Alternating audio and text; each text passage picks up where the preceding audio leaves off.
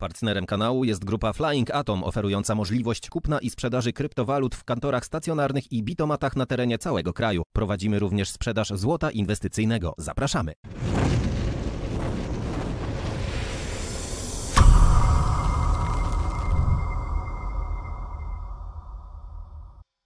I witam to gorąco w kolejnym programie Bitcoin Phoenix. Dzień dobry krypto. Dzisiaj mam wiadomości na 16 listopada 2021. Nie będzie tych wiadomości za dużo, także spokojnie. Wyjdziemy jeszcze z audycją, zanim tutaj wyjadę załatwiać kolejne sprawy, jeżeli chodzi o, wyjazd, więc dzisiaj krótka audycja. Jeszcze wejdziemy może do około godziny 14 z kolejną audycją, więc spokojnie. Zobaczymy co tutaj jest. I tak tych wiadomości nie było za dużo ostatnio. Widzimy, że ten market na razie jest taki troszeczkę, no, dla tych, którzy liczą na kolejne zyski, na razie przynajmniej zbyt nudny, ale zobaczymy, czy to się nie zmieni. Miałem dzisiaj przyjemność, nie wiem, czy to nazywać przyjemność, czy nie, obejrzenie polskiej piłki, e, czyli naszej reprezentacji Polski i muszę wam powiedzieć, że no, troszeczkę tam coś nie zagrało. No ale pewnie wiecie, miejmy nadzieję, że trafimy na jakąś dobrą drużynę, dobrą w cudzysłowie, żeby to dalej lepiej wyglądało. Zobaczmy, jak sobie poradziły krypto. Mamy CoinGecko i zobaczmy Bitcoina 63 767 dolarów.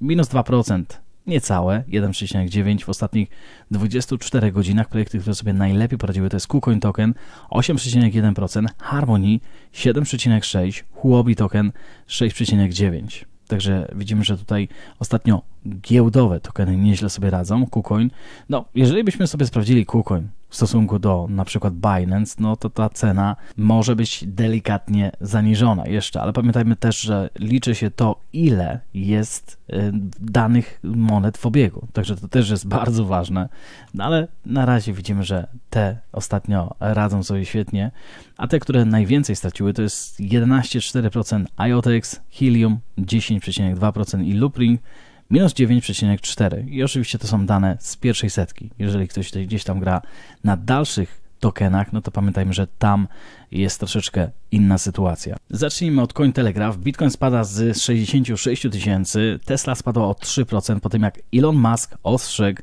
że może sprzedać więcej akcji. I tutaj może nie aż tak to srogo wygląda, jak to opisują w temacie, ale na pewno wywiązała się tam ciekawa dyskusja z Elonem i pewnie z Sandersem, ale to za chwileczkę. Najpierw zobaczmy, jak sobie radzi Bitcoin. Analitycy utrzymują pozytywne prognozy cen. Dane z Cointelegraph, Markets Pro i TradingView pokazały, że BTC oddaje część swoich nocnych zysków, osiągając lokalne maksima powyżej 66 tysięcy. Oddalając się od ostatnich formacji, para nie zdołała zwyżkować, czyli iść wyżej na początku handlu na Wall Street, zamiast tego przyglądała się staremu kwietniowemu szczytowi wszechczasów. Dla współpracownika Cointelegraph Michaela Vandenpop wyższe poziomy byłyby ważniejsze dla zachowania ogólnego, zwyżkowego tempa w krótkim okresie. Jak zauważa, wciąż patrzymy na rosnącą strukturę klina. Podsumował obok wykresu wyraźny byczy y, sygnał będzie, jeśli Bitcoin przekroczy poziom 66400 a 66800. Także na razie jesteśmy w takim limbo, zawieszeniu. W innym miejscu uwaga skupiła się na wskaźnikach, sugerując, że przed pojawieniem się klasycznych sygnałów szczytowych może być więcej miejsca na wzrost cen podkreślając współczynnik Spend Output Profit Ratio, Philip Swift, twórca zasobu danych Look into Bitcoin, skontrastował stan obecnego rynku z przegrzaną atmosferą z początku 2021. Te dzienne poziomy na łańcuchu są tak niskie, wczoraj ponownie był bliski ujemny, daleko nam od przegrzanych poziomów, które widać po lewej stronie wykresu. Z finansowaniem też dość płaskim, prawdopodobnie niedługo zaczniemy ponownie znaczno rosnąć. I no to jest pytanie właśnie, czy zbliżamy się do szczytu? Niektórzy już tutaj widzą na tych wykresach podwójny szczyt, jeden w granicach 64, drugi 69. Elon Musk dochodzi do tego, czy on nie przewidział tego prawdziwego szczytu. Miejmy nadzieję, że nie, tak, ale e, przejdźmy tutaj do, do kolejnej informacji.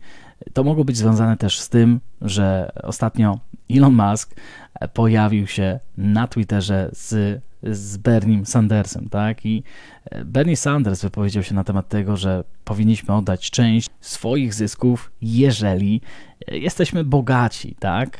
No i najpierw było bardzo delikatnie z odpowiedzią Ilona Maska na Berniego Sandersa, bo powiedział, nawet nie pamiętałem, że ty jeszcze żyjesz. Dalej e, oczywiście dodał, czy chcesz, żebym sprzedał więcej Tesli albo akcji z giełd, powiedz tylko słowo. I dlatego tutaj wyszła taka informacja, że, a wiemy, że Elon Musk ostatnio, nawet jeżeli e, była tutaj ankieta na Twitterze i niektórzy mu zarzucali, jak taki profesjonalny trader, właściciel Tesli może zachowywać się w taki sposób, że gdzieś tam społeczność z Tesli odpowiada mu, czy ma sprzedać, czy nie, tak? Ale widzimy, że na tej, tej informacji gdzieś tam niektórzy czują się delikatnie zagrożeni na pozycjach, więc dlatego wyszedł taki news, czy będzie dalej sprzedawał Elon Musk Tesla. Miejmy nadzieję, że nie, bo no, mamy na razie dodatnią korelację niestety, jeżeli chodzi o Bitcoina i, i krypto z tym, co się dzieje na giełdzie. O tym należy pamiętać przynajmniej do tej pory, e, dopóki tutaj nic innego się nie wydarzy. I ostatnio też nie widziałem do druku stablecoinów w takim tempie, jak mieliśmy jeszcze na końcu ostatniego tygodnia, więc to też może nam wiele mówić. Cointelegraph. Prezydent Biden podpisuje ustawę o infrastrukturze, która nakłada na brokerów obowiązek raportowania. Po miesiącach analiz ze strony Senatu i Izby Reprezentantów Stanów Zjednoczonych ustawa o infrastrukturze krytykowana przez wielu zwolenników krypto jest teraz oficjalnie prawem obowiązującym w kraju. Podczas ceremonii przed Białym Domem w poniedziałek prezydent Joe Biden podpisał ustawę infrastrukturalną o wartości 1 biliona dolarów przed publicznością składającą się z dziennikarzy, prawodawców i związkowców. Uchwalona ustawa wdroży surowsze przepisy dotyczące firm obsługujących kryptowaluty i rozszerzy wymagania dotyczące raportowania dla brokerów. Ustawa nakazuje, aby w przyszłości transakcje dotyczące aktywów cyfrowych o wartości przekraczającej 10 tysięcy dolarów były zgłaszane do Urzędu Skarbowego. Grupa senatorów pierwotnie zaproponowała poprawkę do ustawy, która wyjaśniałaby wymagania dotyczące sprawozdawczości podatkowej krypto, ale propozycja nie została zatwierdzona w sierpniu. Dwupartyjność miejsca pracy wydawało się być tematem popołudnia, a wielu mówców zwracało się do demokratów i republikanów, którzy wspólnie pracowali nad przyjęciem ustawy. Biden osobiście podziękował senatorowi. Dobra, tutaj już nie będziemy mówić na ten temat, ale widzicie, że idą za ciosem w Stanach Zjednoczonych. I teraz pytanie, jak zareagują na to rynki krypto? A na pewno to, co się dzieje w Stanach Zjednoczonych, nie mówimy, że to będzie monopolem na resztę świata, ale wiemy z historii, że to, co wprowadzają Stany Zjednoczone, często gęsto chwilę później przenosi się na Unię Europejską, a chwilę później gdzieś tam na inne kraje, które chcą żyć zgodnie e, na pewno ze Stanami Zjednoczonymi. Chociaż obecnie każdemu prawodawcy w USA trudno jest zmienić istotę wymogu raportowania dotyczącego krypto, który ma wejść w życie w 2024, więc no, widzimy, że ta ustawa jest przepchnięta. Pytanie, w jaki sposób będą to próbowali wykorzystać i kiedy to będzie, albo kiedy to wejdzie w życie. No i czy jakieś ustawy pomiędzy tutaj, albo poprawki do ustawy nie wejdą w życie również, tak? I to się tyczy tego, o czym mówiliśmy wczoraj na audycji, plusy i minusy wejścia w Taproot BTC. Miejmy nadzieję, że rządy nie położą na tym łapy i nie powiedzą, że no, my tutaj będziemy to jeszcze baczniej pilnować, bo wtedy wiadomo, że daje to bramkę rządom do po prostu większej inwigilacji na przykład Bitcoina po tej zmianie. Taproot, tak? Więc będziemy tutaj obserwować. Wiemy, że z drugiej strony, żeby obronić tutaj ten Taproot, to powiem o Lightning Network, tak? Lightning też wydaje się być brany pod tą uwagę, tylko że pamiętajmy, że na Lightning Network nie ma najczęściej wartości 10 tysięcy dolarów wysyłanych, tylko to są małe, niskie sumy.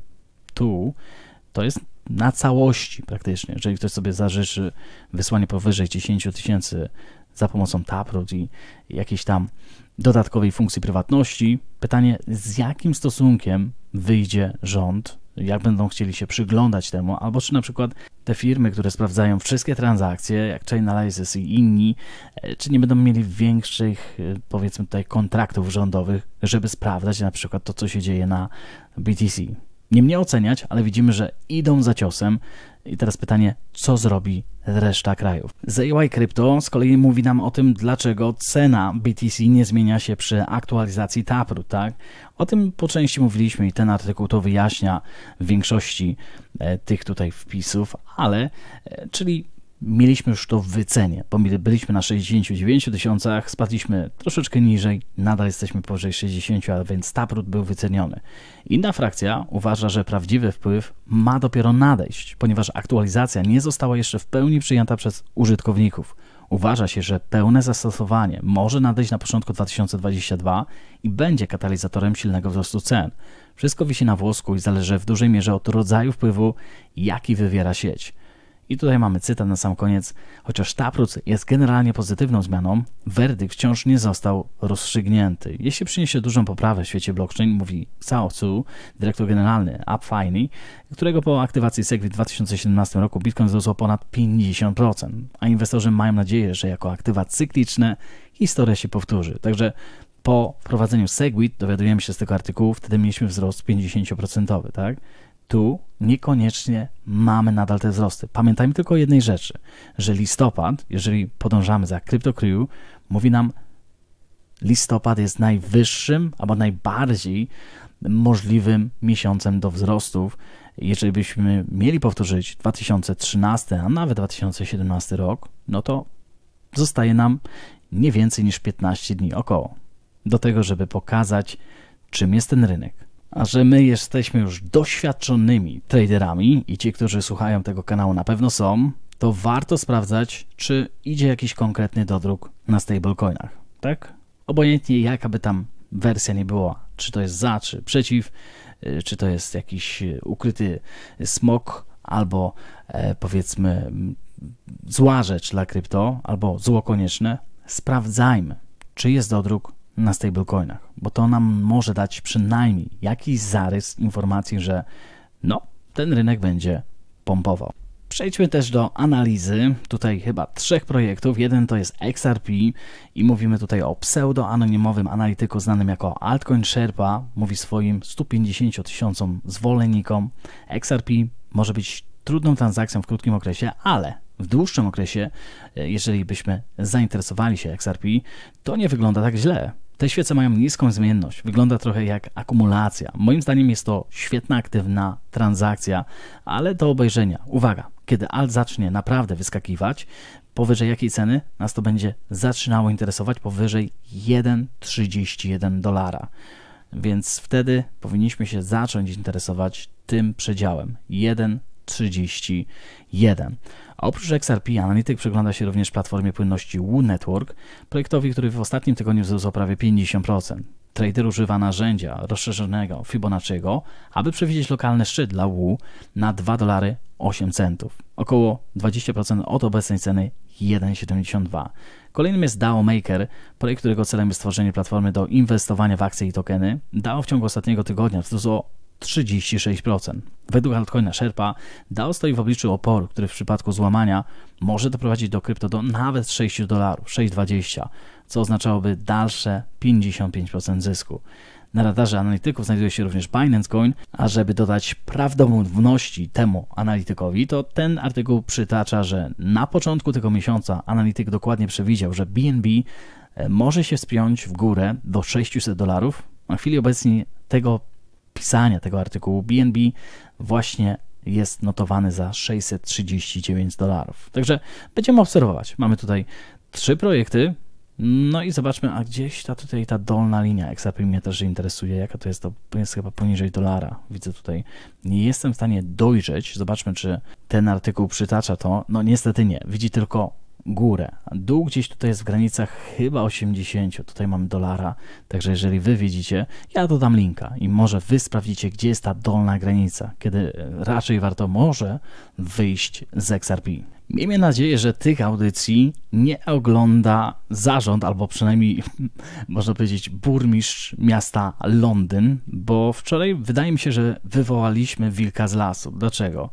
Bo po kampaniach reklamowych Floki Londyn chce zakazać reklam krypto w transporcie publicznym. Pamiętacie, wczoraj mówiłem przy e, innym kraju, który właśnie wprowadza taką blokadę i mówię, no ale chyba to nie działa w Londynie, bo ostatnio widzieliśmy, że Floki jest reklamowany, chociaż może Floki jest inwestycją niskiego ryzyka i dlatego jest na tych autobusach, a tutaj dowiadujemy się praktycznie paręnaście godzin później, że Londyn podobnie jak w tamtym kraju, o którym mówiliśmy wczoraj, będą blokować właśnie już na transporcie publicznym takie reklamy. Władze brytyjskie podobno wezwały Transport of London do zaprzestania zezwalania na reklamy kryptowalut w swojej infrastrukturze. Ruch nastąpił po tym, jak Floki Inu, memowa moneta nazwana na sześć szczeniaka Elona Muska, była reklamowana na miejscach stacja metra, autobusach i pociągach przez ostatnie kilka tygodni. Więc w związku z tym, zgodnie z ostatnimi doniesieniami, londyński organ do spraw transportu TFL postanowił rozprawić się z tymi reklamami. Chris Reader, szef mediów komercyjnych w samorządzie, zapewnił, że marki krypto, które chcą reklamować swój produkt, będą musiały teraz przejść dokładnie dochodzenie, zanim ich token zostanie wyświetlony w mieście. Upewniamy się, że kampanie zawierają wystarczające informacje, aby były zgodne zarówno z naszą polityką, jak i orzeczeniem ASA, Advertising Standard Authority, polityka TFL dodała, że na jej platformach nie można reklamować nic wrażliwego ani wątpliwego, co sugeruje kontrowersyjny charakter monet memów, takich jak Floki Inu.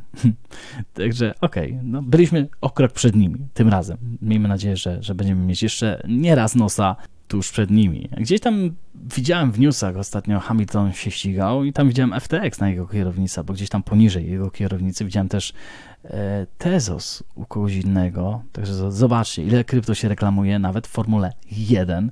E, także to jest bardzo ciekawe. Ja bym wolał, żeby mniej było reklamy na przyszłość, a więcej przynajmniej użyteczności poza światem krypto. Wtedy bym naprawdę tutaj wierzył w to, że ta bańka, która tutaj jest, nie jest bańką, tylko po prostu wyjdziemy poza świat krypto. Nie tylko w reklamie, jak na autobusach w Londynie, ale też z jakąś fajną użytecznością. Jaką użytecznością? Taką, że na przykład mojej świętej pamięci babcia by do mnie zadzwoniła i powiedziała, że słuchaj, używam tej rzeczy, a nawet nie wiedziałem, że to jest związane z Twoim projektem. Ja mówię, o co chodzi? No, po prostu ten projekt udogodnił mi życie albo pozwoli mi zrobić coś ekstra. Na to liczę, że ten świat krypto wyjdzie poza świat spekulacji, nie tylko płatności, nie tylko kolejnego przesyłu landingowego projektu, tylko coś, co zmieni świat. Miejmy nadzieję, że już za chwilę o takim projekcie się dowiemy. Nie tylko pod względem dolarach w oczach. Przejdźmy do You Today i my lubimy słuchać w tym rynku o all time high, czyli o najwyższych cenach. Słyszeliśmy od CryptoCrew 137 tysięcy, Bob Lucas gdzieś tam jest w granicach chyba też tej samej ceny 140.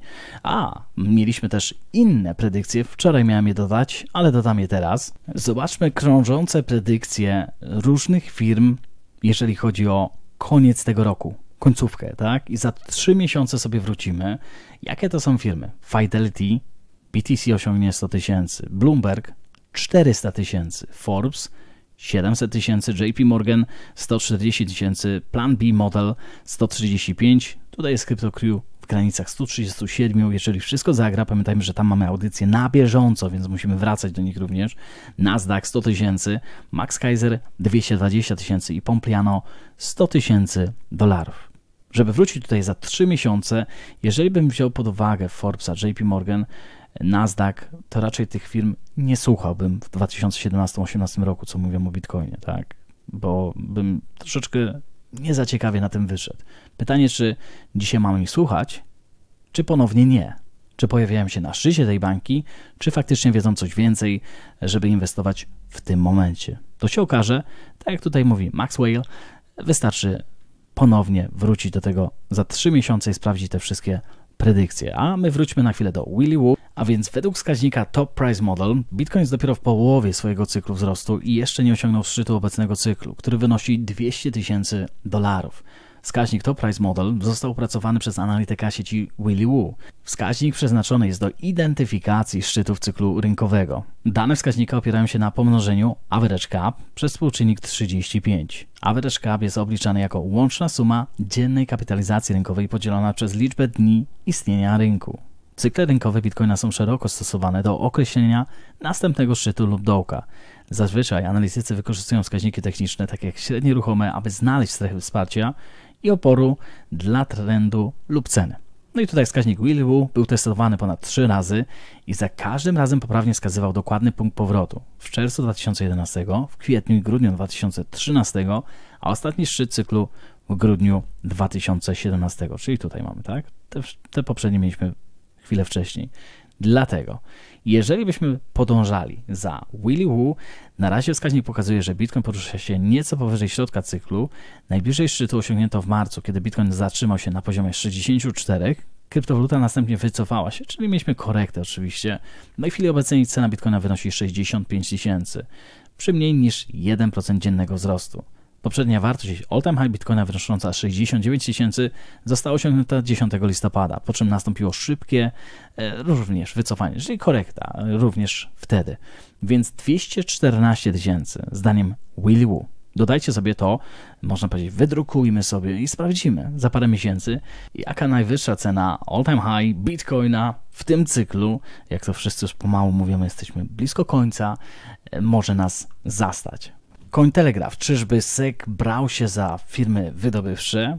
Tutaj mamy Marathon Digital i jej akcje, które spadły, podobnie jak ceny głównych firm wydobywających kryptowaluty, w tym Riot Blockchain, Bitfarms i BitDigital i Hut8. Dlaczego? Amerykańska Komisja Papierów Wartościowych i Kiełcek zleciła firmie zajmującej się wydobyciem kryptowalut Marathon Digital Holdings sporządzenie dokumentów i komunikatów dla jednego ze swoich zakładów wydobywczych w Montanie. Według poniedziałkowego zgłoszenia do SEC, Marathon Digital otrzymał wezwanie do sądu w sprawie dochodzenia w sprawie możliwych naruszeń federalnego prawa papierów wartościowych związanego z Centrum Danych Hardin w stanie Montana. W trzecim kwartale 2021 SEC nakazała firmie wydobywczej przygotowanie dokumentów i komunikatów do 100 MW obiektu, dla którego poczyniła ustalenia dotyczące rozwoju zapasów BTC w październiku 2020. Marathon Digital powiedział, że współpracuje przy dochodzeniu SEC, ale nie wszedł w szczegóły dotyczące wezwania. Odrębne zgłoszenie z października 2020 pokazuje, że firma wyemitowała 6 milionów akcji ograniczonych, akcji zwykłych w transakcjach zwolnionych z rejestracji. Ceny akcji Marathon Digital spadły w poniedziałek o około 17%, gdy wiadomość o wezwaniu dotarła do głównych rynków zbytu. Także pamiętajmy, jeżeli SEC będzie się zajmował różnymi tutaj wydobywczymi e, podmiotami, a my gdzieś tam poza rynkiem krypto szukamy naszych inwestycji, to może się to powtórzyć, tak? Pytanie, jaka jest natura tego, na razie nie wiemy, e, z czym to jest związane, ale SEC zajmuje się na razie Marathon Digital. W momencie, kiedy się zajął tą sprawą, a wyszło to na światło dzienne, to akcje tej firmy spadły o 17%. Więc miejmy to na uwadze. Miejmy to na uwadze i śledźmy też to, co się wydarzy e, w tym przypadku, co oni tam zrobili nie tak, jeżeli chodzi o federalne prawo papierów wartościowych. Do tej audycji predykcji dołóżmy sobie jeszcze jednego weterana, jak tutaj mówią, czyli Tom Weiss mówi swoim 115 tysiącom subskrybentom YouTube, że podwaja swoją prognozę z września 2021, że BTC osiągnie 100 tysięcy dolarów przed 1 stycznia 2022 roku. Także ja nazwę tą audycję predykcję do końca roku, żebyście mogli wrócić do tej audycji i wtedy sobie za 3 miesiące sprawdzimy. Tutaj mamy Ton Weiss 100 tysięcy dolarów, podwoił od ostatniego czasu. E, także sprawdzimy sobie. Nie musi tutaj więcej wiedzieć, chyba że zobaczymy, jak to argumentuje na chwilę. A więc zostało nam około 6 tygodni. Patrząc na miesięczne wykresy Bitcoina, Weiss zauważa, że wszystkie średnie kroczące wzrosły. Wykres miesięczny wygląda bardzo byczo. Jesteśmy przede wszystkim średnimi kroczącymi. Wszystkie się podnoszą. Średnie kroczące to wskaźniki techniczne, które pomagają traderom określić obecne i przyszłe trendy. Obecny trader kryptograficzny widzi BTC w kanale pomiędzy 60 a 66 tysięcy dolarów. Także widzimy ten 66, to jest bardzo ważny też poziom. Dopóki pozostaniemy na tym kanale, będę przewidywał wielki wzrost. To się równa z tym, o czym mówił też CryptoCrew, tak? CryptoCrew mówił w ostatniej audycji 59 coś. Jeżeli zejdziemy poniżej 59 500, nie pamiętam dokładnej liczby, to możemy mieć kolejne zmartwienie. 53 tysiące, tak? a tutaj 60 na 66 to jest akumulacja. I to jest ważne, żebyście sobie to zapamiętali do, do waszej analizy, żeby potem ewentualnie gdzieś tutaj wiedzieć to, czy e, grozi nam 59, a jeżeli znajdziemy się, to może warto gdzieś tam stop lossa blisko tej ceny ustawić. Tajwan również wzmacnia przepisy dotyczące krypto, donosi nam U-Today, jeden z nielicznych pozostałych kryptorajów stworzy nowy zestaw zasad dla firm działających w branży krypto. I to jest bardzo ciekawe, bo tutaj dowiadujemy się, jak zmienia się natura kryptowalut, bo wcześniej wszystkie firmy związane z zasobami cyfrowymi były wymienione jako w kategorii usługi projektowania oprogramowania. Teraz jest to kategoria finanse, ubezpieczenia i nieruchomości, jako wirtualne platformy walutowe i firmy handlowe. Zmiana kategorii zrównała znaczną ilość przepisów dotyczących firm powiązanych z kryptowalutami, które będą teraz musiały działać w ramach innych polityk i ściślejszego nadzoru regulacyjnego. Główna odpowiedzialność za regulację będzie spoczywać na Komisji Nadzoru Finansowego. Regulator będzie odpowiedzialny za działy prawa podatkowego i kontrolowania, które opracują nowy zestaw zasad dla firm powiązanych z kryptowalutami. ZY Crypto informuje nas o nowym korytarzu płatności i mamy tutaj pakistański bank, jeden z największych domów przekazujących pieniądze i Forex w Zjednoczonych Emiratach Arabskich, nawiązał współpracę za pośrednictwem globalnej sieci płatności Ripple, aby umożliwić nowy korytarz płatności między tymi dwoma krajami. Współpraca sprawi, że pakistański bank Al-Falah i Lulu Exchange siedzibą w Abu Dhabi wykorzystają usługę RippleNet Cloud do rozliczania i rozliczania w czasie rzeczywistym transakcji międzynarodowych między właśnie tutaj oczywiście Emiratów Arabskich a Pakistanem. Ponad 200 oddziałami na całym świecie giełda ZIA jest albo ZA jest jedna z najwcześniejszych międzynarodowych operatorów przekazu pieniężnych w regionie i jest jedną z wielu instytucji finansowych już działających w chmurze RippleNet. Ripple, Lulu i Bank Alafa zasadniczo stały się pierwszymi, które dostarczyły rozwiązanie płatności oparte na blockchain dla Zjednoczonych Emiratów Arabskich i Pakistanu. Powinno to prowadzić do dalszego wzrostu popytu klientów na Ripple w regionie. Migranci z Pakistanu stanowią około 13% całej populacji Zjednoczonych Emiratów Arabskich, a Zjednoczone Emiraty Arabskie są również drugim co do wielkości źródłem przekazów pieniężnych do Pakistanu. Partnerstwo z RippleNet pomoże nam pogłębić naszą współpracę z Lulu Exchange i wzmocnić mosty finansowe między Pakistańczykami mieszkającymi w Zjednoczonych Emiratach Arabskich, a ich rodzinami w kraju. Dyrektor zarządzający Lulu Financial Group, Adeba Hamed, uważa, że powiązanie z bankiem Alawa i Ripple pomoże stworzyć nowe możliwości. Raczej ten bank się troszeczkę inaczej nazywa Alfala. A ja tutaj troszeczkę bardzo szybko, można powiedzieć, tłumaczę to.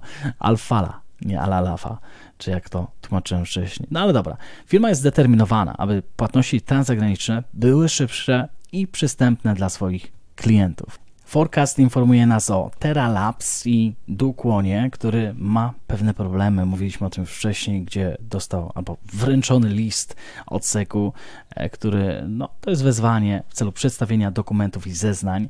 Chodzi tutaj oczywiście o Terra Labs Mirror Protocol, e, którym tutaj również uczestniczył. Pod koniec października Dukwon pozwał SEC, twierdząc, że został niewłaściwie obsłużony na konferencji Messari Mainnet, która odbyła się w Nowym Jorku w dniach 20-22 września.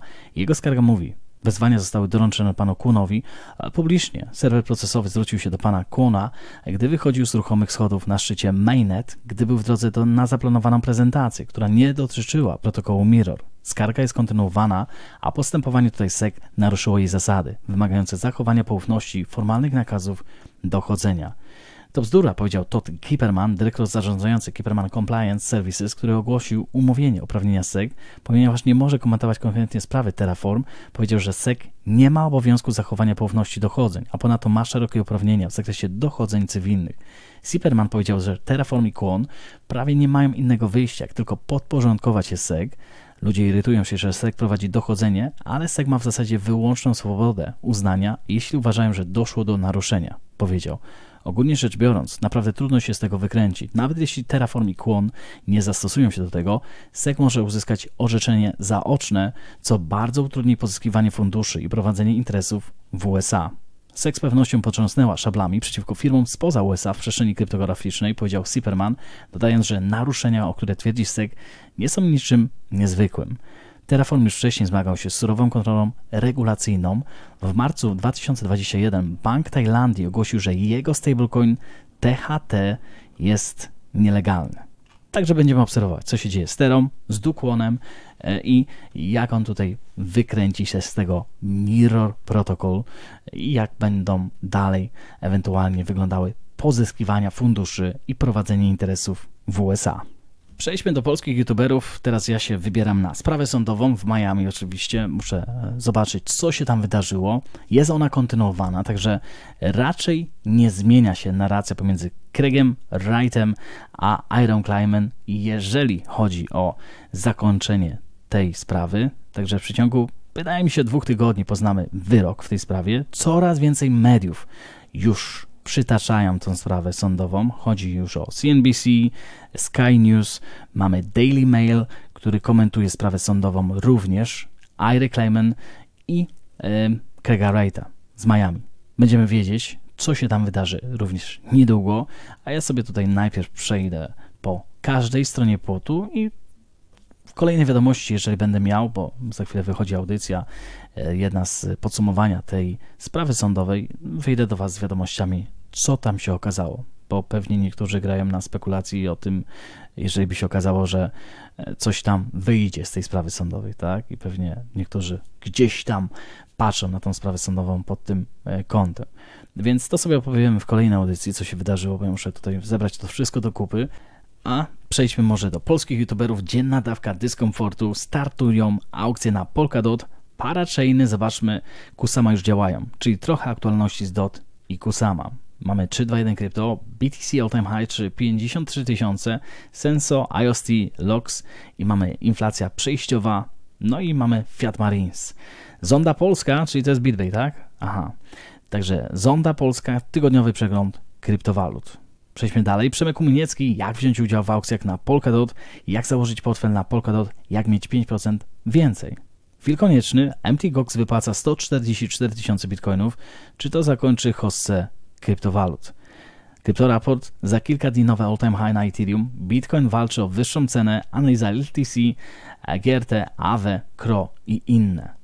Kryptokamikaze, rodzina i kryptowaluty, Mamy również encyklopedię krypto, poranek z krypto, spot ETF na BTC odrzucony, bullish sygnał, e, Litecoin nie, LTH, zobaczmy co tam jest, zaczynają sprzedawać. Max Satoshi, Wojciech Gruszka, pan paragraf, CEO Startera, kryptowalutowa niedziela z Mike'iem, 186 odcinek. No i na samym końcu mamy komentarz. Nie, komentarzy nie trzeba. Tutaj do chwila koniecznego, jeżeli chodzi o e, MT Gox, to pamiętajmy również o tym, że y, sprawa sądowa z Miami jeżeli miałby ktokolwiek wygrać tam, a nawet Ira Climb, jeżeli miałby wygrać, to nie wiem, czy ktoś chce pompować ten rynek dalej również. Bo wszyscy zajmują się MT Goxem. Pytanie, czy ktoś by chciał pompować ten rynek, wiedząc, że Ira Kleiman może mieć połowę tego, co ma Craig Wright. Albo Craig Wright wygra resztę. I też może oczywiście sprzedać. Chyba, że to jest wszystko za bobon. I to jest troszeczkę niewygodny temat, więc nie jest poruszany a kanał Bitcoin Phoenix jest od tego, żeby te niewygodne tematy wyciągnąć na światło dzienne, bo może się okazać, że te niewygodne tematy kierują rynkiem. Ale Empty Gox jest również ważny, bo jeżeli oni będą wypłacać, no to jeżeli ktoś wie o tym, że będzie taka akcja, to też pytanie, czy ktoś chce pompować ten rynek dalej, tak? Więc mamy dwie rzeczy, które mogą tutaj nadejść. Oprócz tego mamy Bidena, który atakuje e, i to, co się dzieje, e, i stablecoiny, również sprawę sądową związaną z Tetherem. Także wszystko tutaj może wyjść tak naprawdę, tak? Ale na razie nie wygląda to źle. Nadal BTC jest powyżej 60 tysięcy i to, co się dzieje w koło, nie ma największego znaczenia. Przynajmniej w dniu dzisiejszym. Życzę Wam wspaniałego dnia, no i pamiętajcie, zostańcie z Bitcoinem.